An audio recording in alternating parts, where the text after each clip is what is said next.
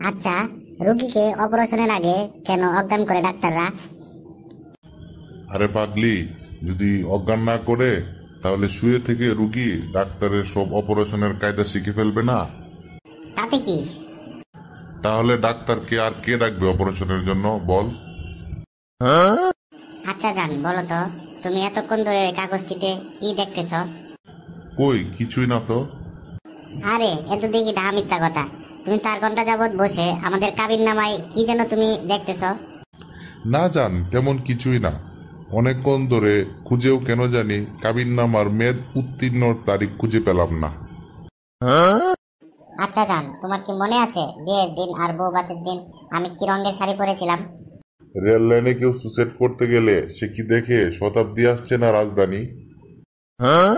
আচ্ছা জান তোমাকে একটা কথা বলি। হুম বলো। মারবে না তো? আরে জান মারবো কেন?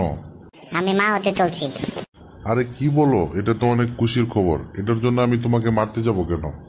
না মানে কলেজে থাকতে বাবাকে এই কথা বলাতে বাবা আমাকে অনেক মেরেছিল। আচ্ছা জান চলো আমরা লুকোচুরি খেলা খেলি। যদি তুমি আমাকে খুঁজে পাও তাহলে আমাকে তুমি শপিং এ নিয়ে যাবে। আচ্ছা আর যদি খুঁজে না পাই তাহলে? এমন কথা বলো না জান আমি তো ওই বেডরুমের দরজার পিছনে লুকাবো। আচ্ছা জান তুমি কি আমাকে ভালোবাসো? বিশ্বাস না হলে পরীক্ষা করে দেখো। ধরো তোমার পকেটে তিরিশ টাকা আছে। আমি যদি ওখান থেকে পনেরো টাকা চাই তাহলে কি তুমি আমাকে ওই পনেরো টাকা দিতে পারবে? কেন পারব না? একশো বার পারব। তবে পরীক্ষার তারিখটা একটু পিছানো যায় না।